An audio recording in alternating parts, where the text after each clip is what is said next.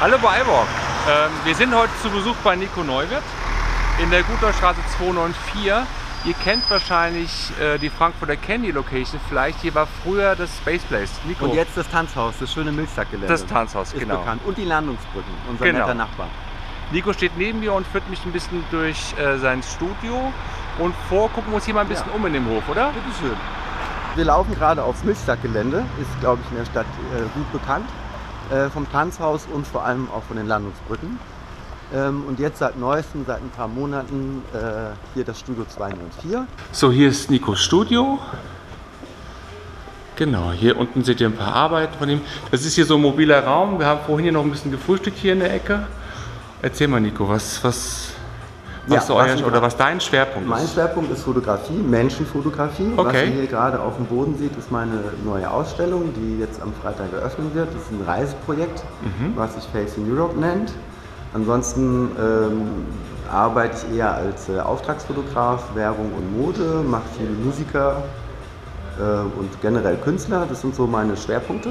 Okay. Produktfotografie ist nicht mein Ding. Das ist nicht meine Das wäre jetzt meine nächste Frage Genau. Okay. nein, also das ist auch in der Fotografie eigentlich so, das sind so, das hat nicht viel mit Technik zu tun, sondern mit Charaktereigenschaften. Also ich kann gut mit Menschen, Produkte, die da so dienen, das ist mein Ding. Okay. Das hat sich auch in den letzten Jahren sehr stark so rauskristallisiert. Also ich fotografiere sehr, sehr gerne und überwiegend Menschen und mittlerweile auch so ein bisschen das Drumherum, also Okay. so ihre Umgebung und das sieht man vor allem jetzt auch in diesem Facing Europe Projekt, denke ich, ganz gut. Erzählt mal, Studio 294, was, was macht ihr da genau? Es geht irgendwie um Events, habe ich mitbekommen. Studio 204 ist ein Raum, in dem einmal im Monat ungefähr eine Veranstaltung stattfindet. Das kann eine Ausstellung sein, ein Konzert, eine Performance, ein Workshop, Oder eine Kombination aus genau, all dem. aus allem. Und den Raum kann man auch für Shootings in Anspruch nehmen. Okay. Man kann ihn auch mieten für andere Zwecke. Was ist für euch da anders gewesen, das so zu machen mit den, mit den Events? Was ist euer Ziel des Ganzen oder worum geht es euch dabei? Das sag ich mal die Antwort. Das war vorher eine, eine reines Fotostudio ähm, und wurde auch wirklich nur als solches benutzt. Und es gab letztes Jahr einen Wechsel. Ähm, und äh, mein Impuls war damals, dass ich auf jeden Fall eine, eine Gemeinschaft wollte. Also ich wollte mit vielen Leuten arbeiten und wollte so dieses brodelnde Leben, ne? dass viele Dinge passieren und habe mir dann äh, quasi die richtigen Leute dazu. Genau.